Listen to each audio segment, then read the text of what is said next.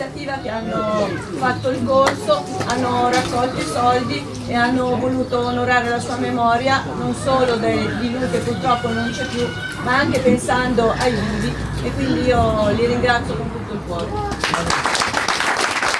Un bel esempio dal dolore della perdita di un ragazzo giovane alla consegna di questo defibrillatore che può praticamente salvare molte altre vite. Sì, io sono stufo di piangere i ragazzi che muoiono perché sono morti evitabili.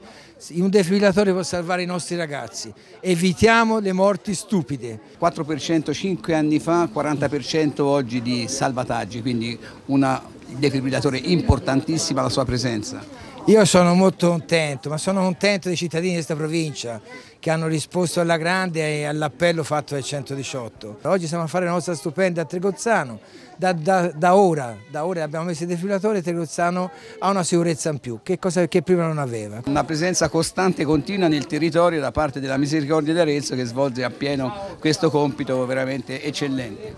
Sì, la Misericordia di Arezzo è sempre vicino eh, a chi ha bisogno e da secoli, quindi da 1300 115 che è nata in Arezzo e quindi continuamente, a parte una breve interruzione, ma è sempre stata presente vicino alla gente. Quindi la presenza della misericordia è importante, la presenza non soltanto della misericordia ma anche di persone specializzate e formate nel territorio ha vitale importanza. Sì, sì, è importante, um, lo facciamo come misericordia insieme agli altri formatori della nostra associazione, come tutte le associazioni della provincia di Arezzo siamo inseriti in questo progetto eh, per l'installazione dei defibrillatori e per la diffusione appunto di queste pratiche di rianimazione.